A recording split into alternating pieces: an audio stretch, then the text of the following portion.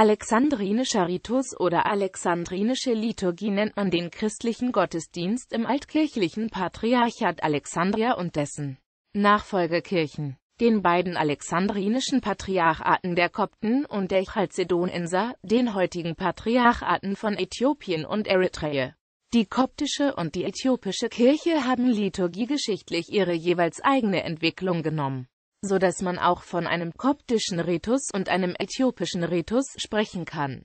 Untergegangen ist die Tochterkirche Alexandrias in Nubin, von deren Gottesdienst sich nur monumentale und schriftliche Quellen erhalten haben. Die Grundsprache alexandrinisch-ägyptischer Liturgie ist und blieb das Griechische. Noch in der Spätantike traten verschiedene koptische Sprachen hinzu in den Missionsgebieten das Nubische und das Äthiopische. Nach der Arabisierung Ägyptens wurde das Arabische für die biblischen sowie hagiografischen Lesungen aufgenommen und in den priesterlichen Gebetbüchern als Verständnishilfe in Marginalübersetzungen genutzt.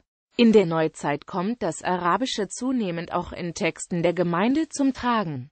Liturgiegeschichte Die Anfänge des christlichen Gottesdienstes in Alexandria sind ebenso dunkel wie die Ursprünge seiner Christengemeinde. Auffällig sind einige Übereinstimmungen mit der frühen stadtrömischen Liturgie. Die klassische alexandrinisch-ägyptische Liturgie der Kirchenväterzeit kennen wir vor allem durch verstreute Hinweise in der altkirchlichen Literatur, eine ständig steigende Anzahl papyrologischer Dokumente sowie drei Gebietssammlungen, das in einem Mischkodex des 4. J. tradierte kleine Eukolotchen der Sammlung R die Exzerpte eines alexandrinischen Eukolotchens, darin ein umfängliches Taufbuch im Sondergut der äthiopischen Traditio Apostolica. Punkt. Eine neue liturgiegeschichtliche Lage entsteht mit der Spaltung des alexandrinisch-ägyptischen Christentums in das griechisch-orthodoxe Patriarchat von Alexandria, der Anhänger des Konzils von Chalkedon und die sowohl Griechen wie Kopten umfassende Mehrheitsfraktion die in ihrer Christologie Severus von Antiochia folgt und heute als koptisch-orthodoxes Patriarchat firmiert. Der ererbte altkirchliche alexandrinische Ritus wird nunmehr von zwei recht verschiedenen Gruppen gepflegt und auf je eigene Weise weiterentwickelt.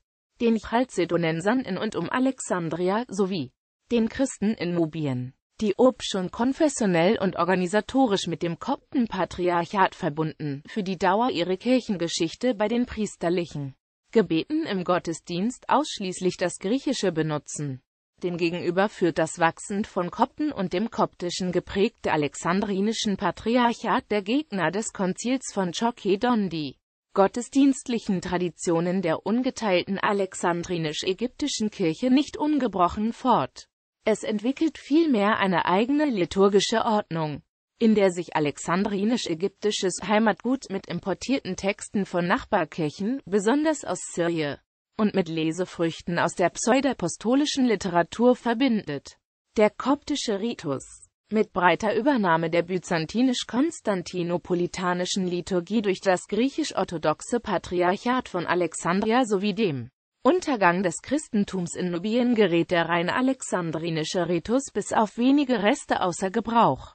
Die Feiern Das in Alexandrien ausgebildete Traditionsformular der Eucharistiefeier ist die nach dem als Kirchengründer verehrten Evangelisten benannte Markos-Liturgie mit der Markos-Anaphora als Hochgebet. In der Liturgie der Kopten tragen beide den Namen des Patriarchen Kyri von Alexandria. Aus spätantiker und frühislamischer Zeit sind eine Anzahl von Fragmenten auf Papyrus erhalten. Die gesamte Liturgie bezeugen mittelalterliche Handschriften in griechischer Sprache sowie verschiedene koptische und arabische Übersetzungen. Die Kirche von Alexandria übernahm aus Antiochia die dort seit der 2. Hälfte des 5. JH übliche feierliche Form der Weihe des Hl. Meiren. Sie blieb nach der Kirchenspaltung in beiden Fraktionen, den Melkiten wie den Kopten, üblich. Die alexandrinisch-melkitische Gottesdienstordnung ist nur handschriftlich erhalten. Veröffentlicht wurde ein lückenhafter Zeuge aus einem süditalienischen Manuskript des 12. J.